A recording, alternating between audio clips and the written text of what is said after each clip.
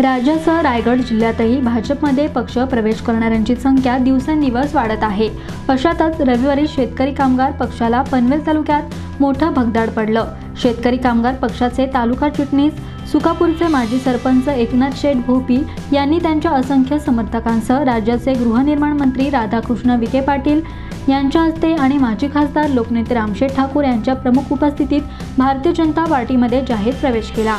यावेळी सिडको अध्यक्ष तथा भाजपचे रायगड जिल्हाध्यक्ष आमदार प्रशांत ठाकूर भाजपचे जिल्हा प्रवक्ते वाय टी देशमुख तालुका अध्यक्ष अरुण शेठ भगत उपाध्यक्ष संजय पाटील लक्ष्मण शेठ पाटील आर पी कोकण प्रांत अध्यक्ष जगदीश गायकवाड महापौर डॉक्टर कविता चौतमोल यांच्यासह पदाधिकारी कार्यकर्ते आणि मान्यवर मोठ्या संख्येनं उपस्थित होते. पनवेल आणि नवी मुंबईच्या ताज्या घडामोडींसाठी मल्हार टीव्ही न्यूज सबस्क्राईब करा आणि बेल आयकॉन दाबून रहा अपडेट.